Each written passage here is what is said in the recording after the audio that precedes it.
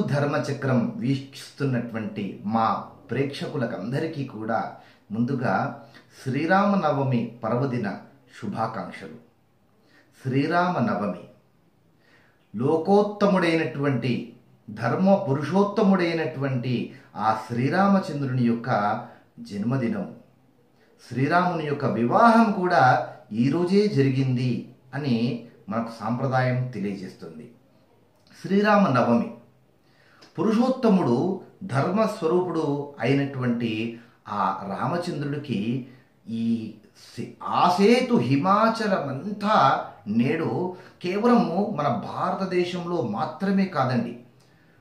భారతీయులు హిందువులు ప్రపంచంలో ఏ మూల ఉన్నా సరే ఆయా ప్రదేశాలలో నేడు మన తల్లిదండ్రుల స్వరూపులైనటువంటి సీతారామచంద్రుల మూర్తుల కళ్యాణ మహోత్సవాన్ని అంగరంగ వైభవంగా జరుపుకుంటారు పండగ చేసుకుంటారు కన్నుల పండుగగా తిలకిస్తారు.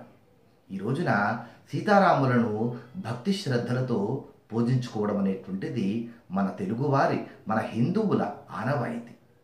సీతారామచంద్ర స్వామి యొక్క కళ్యాణం జరుగుతుంటే అక్కడ కూర్చుంటే చాలు సమస్త శుభాలు చేకూరుతాయి అంటుంది సాంప్రదాయం. అయితే శ్రీరామనవమి రోజున మనమంతా కూడా ఉదయాన్నే చక్కగా స్నాన సంధ్యావందనాది పూజా కార్యక్రమాలన్నీ కూడా ముగించుకున్న తర్వాత ఇంట్లో సీతారాముల యొక్క విగ్రహాలు ఉంటే వాటిని చక్కగా పూజించుకుంటాము పటం ఉంటే పటాన్ని పెట్టి పూజించుకుంటాము ఇంట్లో బెల్లము పానకము వడపప్పు వీటిని నివేదన చేస్తాము. ఆ తర్వాత దగ్గరలో జరిగేటువంటి ఆలయాల్లో సీతారాముల కళ్యాణాన్ని దర్శించి స్వామివారి తీర్థప్రసాదాలు స్వీకరించి తరిస్తాం. ఇది అందరికీ తెలిసినటువంటి విషయమే. అయితే ప్రేక్షకులకు ఒక మంచి విషయాన్ని ఈ వీడియోలో తెలియజేయాలన్నటువంటి సంకల్పంతో ఈ వీడియోలో ఈ విషయాన్ని చెప్తున్నాను. అందరము పూజా పురస్కారాలు రాముని యొక్క అష్టోత్తరాలు చక్కగా రామరక్షా స్తోత్రం ఇవన్నీ కూడా చేసుకుంటూ ఉంటాం. అయితే మనకు ధర్మశాస్త్రము ఇక్కడ ఒక విషయం చెప్తుంది.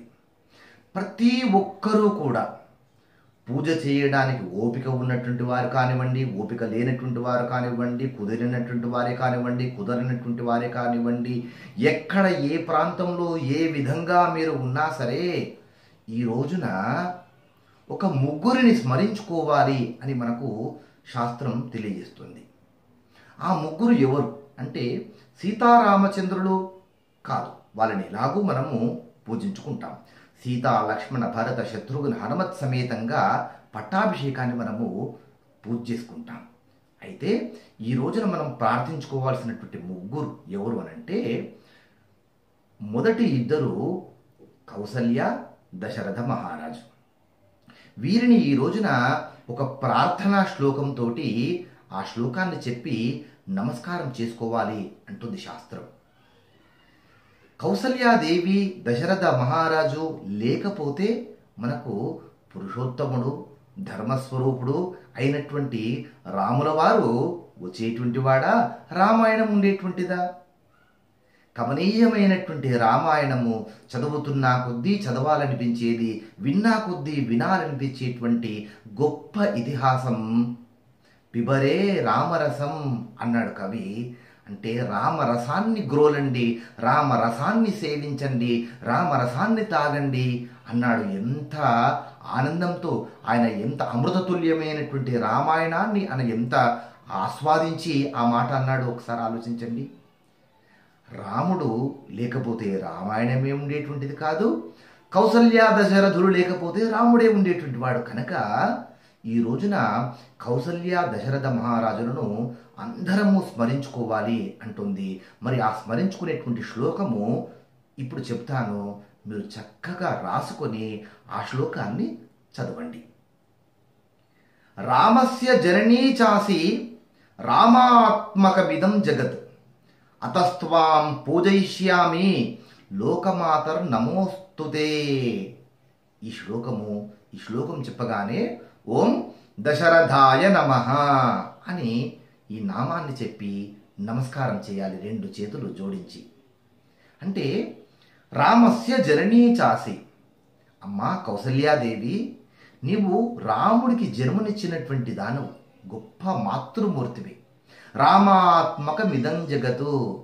అలాంటి రాముడికి నీవు జన్మనిస్తే ఈ జగత్తంతా కూడా రామమయమే రామాత్మకమే ఎక్కడ చూసినా మాకు రాముడే కనబడుతూ ఉంటాడు. అతస్త్వాం పూజయిష్యామి లోకమాతర్ నమోస్తుంది నీవు రాముడికి మాత్రమే మాతృమూర్తివి కా కాదమ్మా. ఈ లోకానికంతా కూడా నీవు మాకు మాతృమూర్తివి. కనుక అమ్మా మా నమస్కారాన్ని అందుకో అని ఇలా ఈ శ్లోకం చెప్పి ఆ తర్వాత ఓం దశరథాయ నమ అని చెప్పి నమస్కరించుకోవాలి. ఆ పుణ్యమూర్తులను ఈ విధంగా మనం స్మరించుకోవాలి. ఇక ఓ మూడవ వ్యక్తి ఎవరు అంటే అందరికీ తెలుసు వాల్మీకి మహర్షి. వాల్మీకి లేకపోతే కనుక మనకు రామాయణం ఎక్కడిది? మనకు రామాయణాన్ని అందించినటువంటి వాల్మీకి మహర్షిని ఈ రోజున తప్పకుండా స్మరించుకోవాలి. ఆయనను మనం ఈ రోజు స్మరించుకొని కృతజ్ఞతలు తెలియజేసుకోవాలి. ఎలాగో వాల్మీకి జయంతి అనేది వస్తుంది. ఆ రోజున మనం చక్కగా పూజించుకుంటాం. కానీ శ్రీరామనవమి పర్వదినం రోజున కూడా సీతాలక్ష్మణ భరత శత్రుఘ్న హనుమత్ సమేతంగా ఇటు కౌసల్య దశరథులను వాల్మీకిని కూడా పూజించుకోవాలి అని శాస్త్రం చెప్తోంది. ఆ శ్లోకము కూజంతం రామరామేతి మధురం మధురాక్షరం ఆరుహ్య కవితా శాఖాం వందే వాల్మీకి కోకిలం అనేటువంటి ఈ శ్లోకాన్ని ఈ రోజున తప్పకుండా విధిగా చదువుకోవాలి. ఈ రెండు శ్లోకాలు చదువుకోవడం అనేటువంటిది మన బాధ్యత మన కర్తవ్యం మన ధర్మం. ఇది వారికి మనం కృతజ్ఞతను చూపించడం. కనుక మిత్రులారా ప్రేక్షకులారా ఈ శ్లోకాలు చక్కగా రాసుకొని ఈ రోజున స్మరించండి. ఇంకా మీరు ఈ రోజున చేయాల్సినటువంటి పనులు ఏంటంటే సీతారామచంద్ర స్వామి మూర్తుల చిత్రపటాన్ని చక్కగా అలంకరించుకొని తులసి మాలతో అలంకరించి తులసి దళములతో సుగంధభరమైన భరితమైనటువంటి పుష్పాలతో అర్చన చేయండి. రామాష్టోత్తరము సీతాష్టోత్తరము ఆంజనేయ స్వామి అష్టోత్తరము చదవండి. శ్రీరామ రక్షా స్తోత్రాన్ని ఈ రోజున పారాయణం చేయండి. అందరికీ శుభాలు జరుగుతాయి.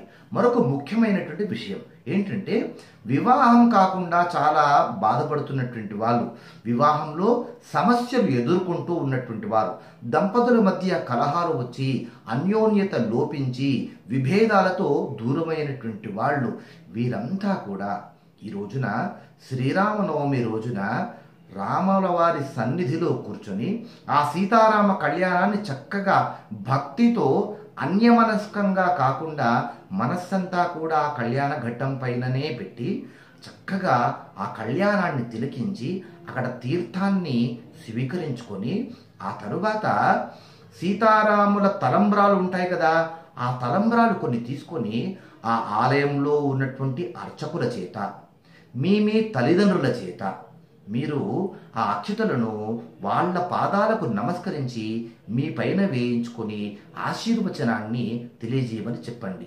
ఈ విధంగా రాముల వారి తలంబరాలతో ఆశీర్వచనం చేసుకుంటే గనక వివాహం కానటువంటి వారికి వివాహము వివాహంలో సమస్యలు ఉన్నటువంటి వారికి సమస్యలు తొలగిపోవడము అన్యోన్యత లోపించినటువంటి వారి మధ్యలో అన్యోన్యత చిగురించడము దూరంగా ఉన్నటువంటి భార్యాభర్తలు మళ్ళీ కలిసిపోవడము ఇలాంటి సమస్యల నుంచి బయటపడతారు. ఆ సీతారామచంద్రమూర్తులు మిమ్మల్ని సదా రక్షిస్తారు. అందరికీ ఆ సీతారామచంద్ర స్వామి యొక్క సంపూర్ణమైనటువంటి అనుగ్రహంతో లభించి సమస్త అభీష్టములు నెరవేరాలని కోరుకుంటూ మళ్ళీ కలుసుకుందాం. ఈ వీడియో కనుక మీకు నచ్చితే లైక్ చేసి కామెంట్ చేసి షేర్ చేయండి. అందరికీ మరొకసారి శ్రీరామనవమి పర్వదిన శుభాకాంక్షలతో మీ హిందూ ధర్మచక్రం శ్రీకాంత్ శర్మ.